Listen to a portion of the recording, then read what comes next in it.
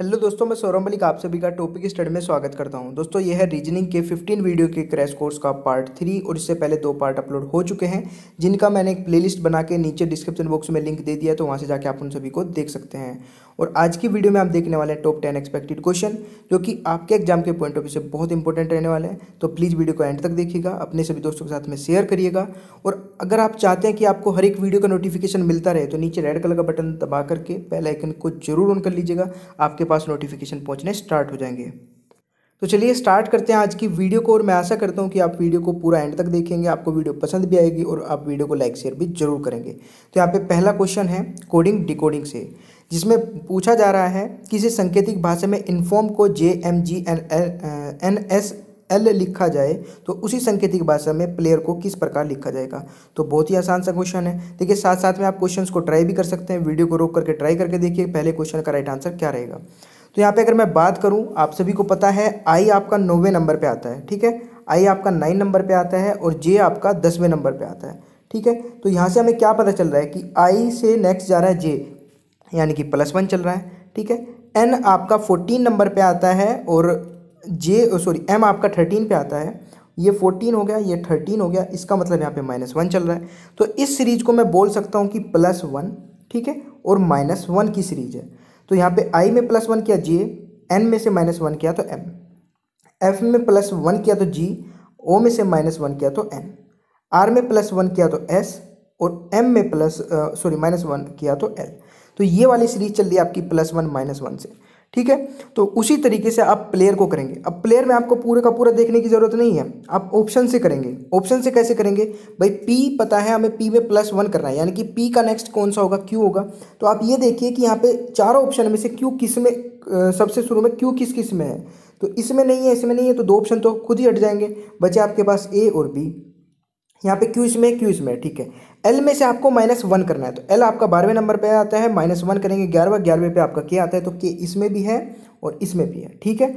फिर नेक्स्ट आपका आता है ए ए में प्लस आपको वन करना है तो बी आ जाएगा। तो यहाँ पे भी बी है, यहाँ पे भी बी है। फिर वाई वाई में आपको माइनस वन करना है तो वाई में से माइनस वन करेंगे तो क्या हो जाएगा एक्स तो आपका देखिए ये ऑप्शन नहीं होगा, क्योंकि ये तो प्लस वन हो रहा है तो ये आपका बी ऑप्शन हो जाएगा राइट आशा करता हूँ कि आपको समझ में आया होगा।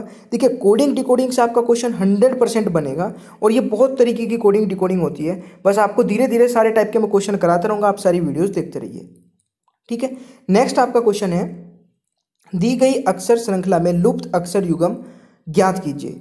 यहाँ पे जो सीरीज़ आपकी फॉलो हो रही है C Y D F T H I O L J sorry L J P next आपको बताना है कि नेक्स्ट क्या आएगा।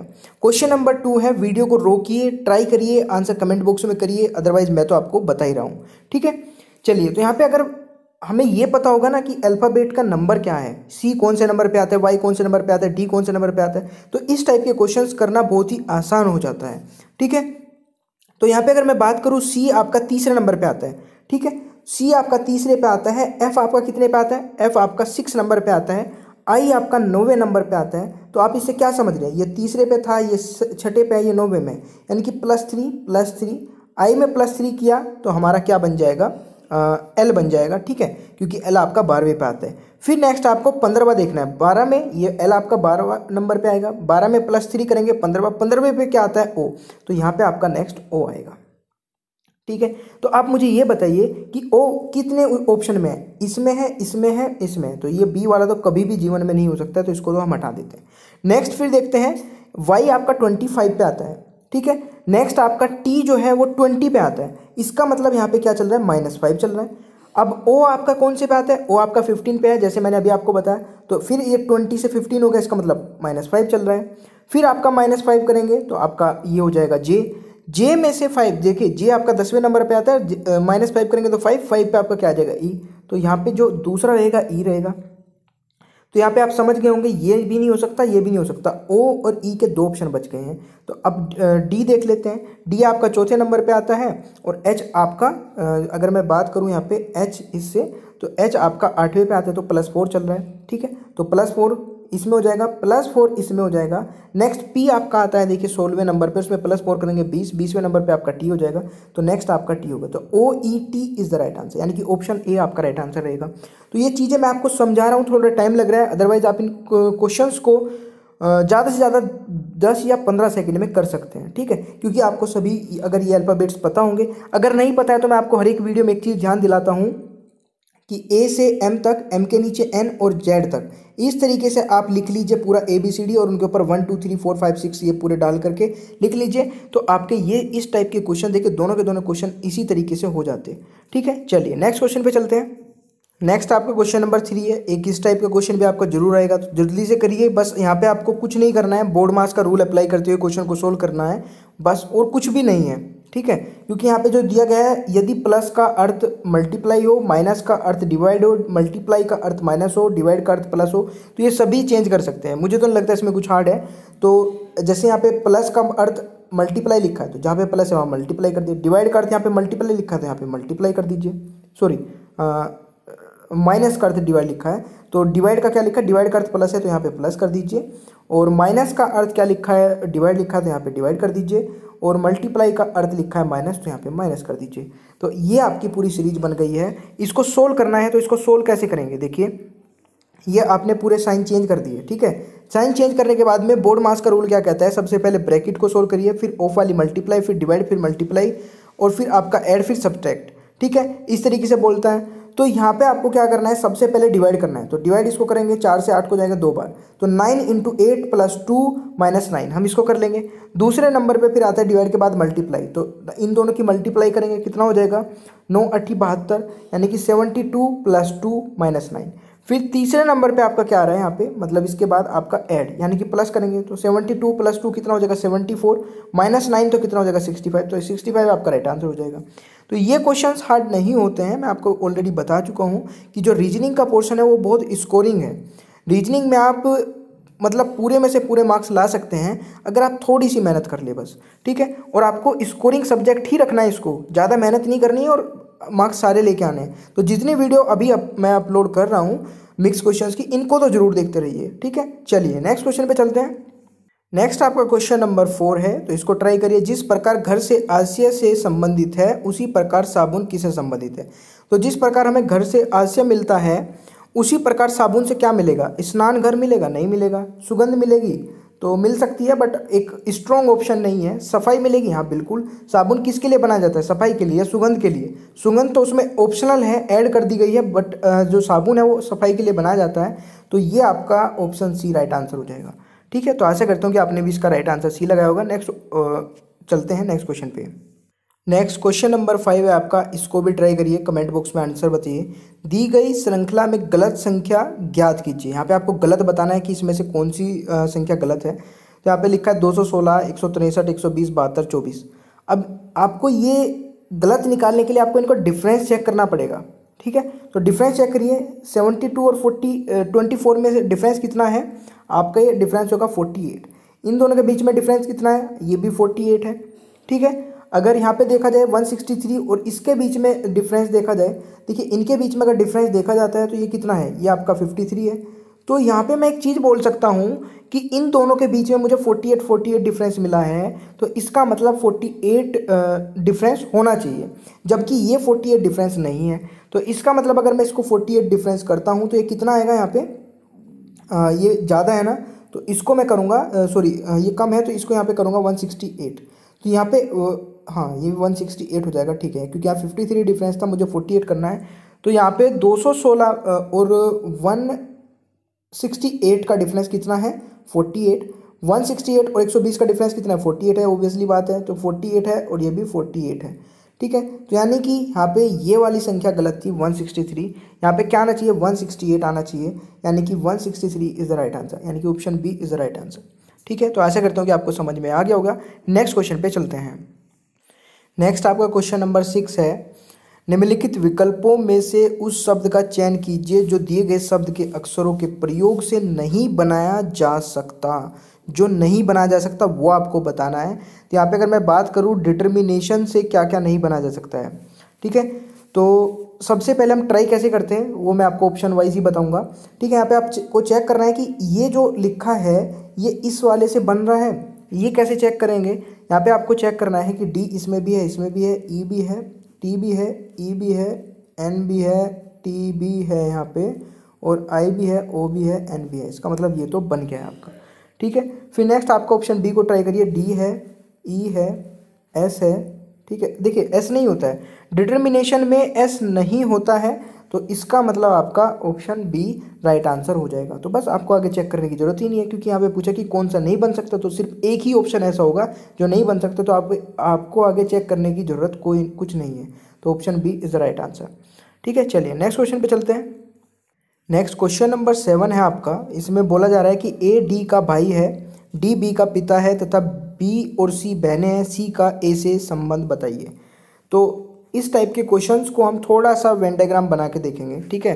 क्योंकि अगर आप इसको डायरेक्ट करते हैं ब्लड रिलेशन के दो तीन टाइप के क्वेश्चन होते हैं सॉरी दो तीन टाइप के क्वेश्चन होते हैं, इस टाइप के क्वेश्चन को आप एक छोटा सा वेंडाग्राम बना के करिए, कभी भी गलत नहीं होगा, ठीक है? कैसे करना है? यहाँ पे बोला ए डी का भाई है। तो आप इस चीज़ को थोड़ा सा लिख लीजिए, क्योंकि भाई है तो एक ही जनरेशन का है। तो यहाँ पे ए और डी को मैंने इस तरीके से लिख लिया। तो ए डी का भाई है, दोनों आपका बॉयज़ हो जाएँगे तो हम यहाँ पे प्लस कर लेते हैं। फिर यहाँ पे बोला जा रहा है देखिए डी का यहाँ पे जेंडर डिफाइन नहीं होगा ना। यहाँ पे बोला गया ना कि ए डी का भाई है तो हम हम लिख सकते हैं कि ए का तो पता है हमें भाई है तो इसका मतलब ये आ, मेल है आपका और डी का नहीं पता अभी। फिर नेक्स्ट बोला जाए डी बी का पिता है। अब पता चलेगा कि डी भी आपका एक मेल पर्सन है तो यहाँ पे लिख सकते हैं बी का पिता तो बी इससे छोटा हो जाएगा। भाई डी बी का पिता है। तथा तो बी और सी बहनें हैं बी और सी बहनें, इसका मतलब यहाँ पे बी और सी एक ही जनरेशन के हो जाएँगे तो ये भी बी और सी बहनें हो जाएँगी इस तरीके से। ठीक है? नेक्स्ट बोला जा रहा है सी का ए से संबंध क्या है?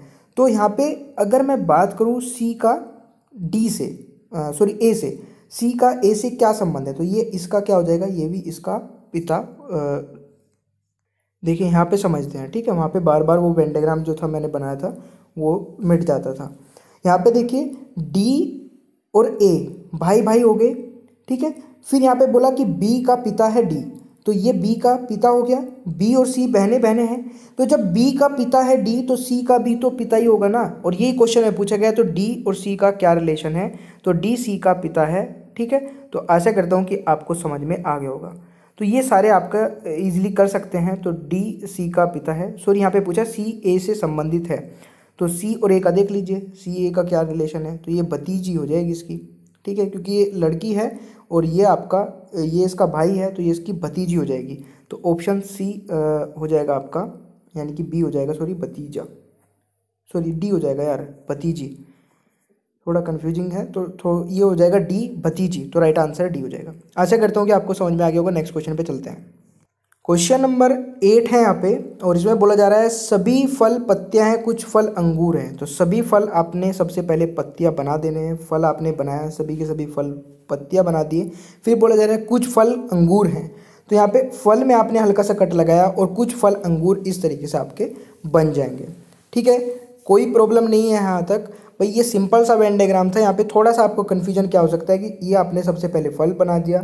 फिर बोला कि सभी के सभी फल आपके पत्तियाँ हैं, फिर बोला कि कुछ फल अंगूर हैं तो कुछ फल अंगूर कैसे हो सकते हैं? देखिए, इसी तरीके से तो होंगे। तो ये सारे के सारे अंगूर भी पत्तियों के अंदर आ जाएँगे। ठीक है? या फिर हम इसको ऐसे भी बना सकते हैं, बट हमें क्या देखना है? अगर पत्तियों का अंगूर का कंप्लीट का रिलेशन नहीं हो सकता है, ठीक है?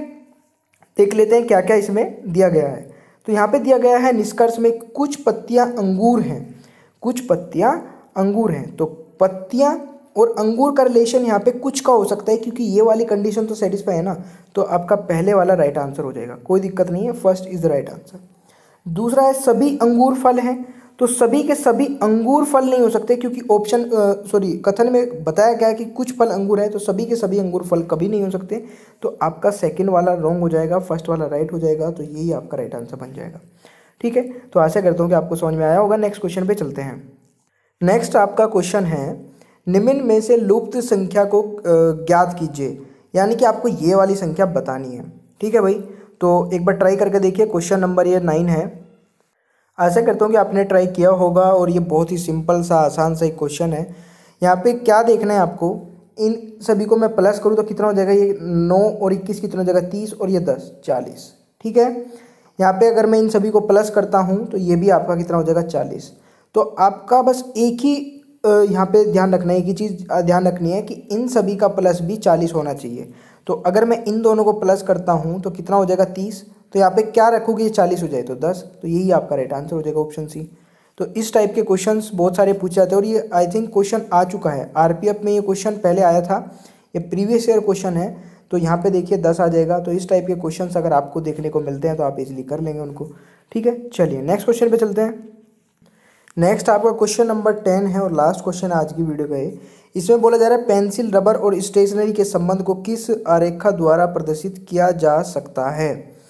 तो यहाँ पे देखिए पेंसिल और रबर कहाँ से मिलती है? स्टेशनरी की दुकान से।